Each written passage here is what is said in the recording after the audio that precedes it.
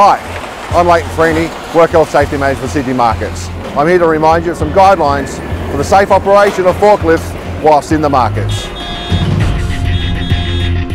You must carry your RMS driver's licence and also your high risk work licence at all times whilst operating a forklift. Please follow all directional signage. Just watch your arrows mate, okay? You're just coming on the wrong arrow there, alright? Just need to watch where you're going. Thank you buddy. Seatbelts must be worn at all times. Morning Manuel. Seatbelt on, beautiful. Speed limits are enforceable. So remember, 10k an hour under all canopies and sheds. Just keep it to 10 inside the sheds, yeah? Just keep it to 10 k's an hour in the sheds. 20 k's per hour in all open areas. And 5 k's per hour on the forklift bridge. Do not carry a load that extends above the load guards. When driving at night, always turn your lights on and remember, no mobile phones or two-way radios can be used whilst operating a forklift.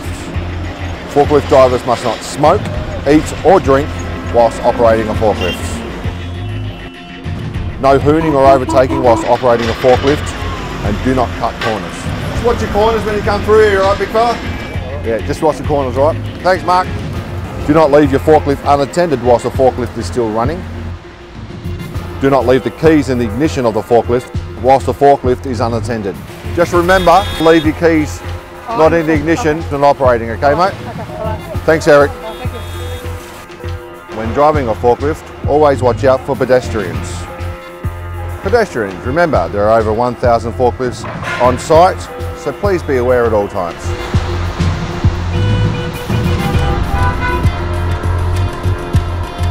Forklift safety is everyone's responsibility, so let's all work together to make markets a safer place.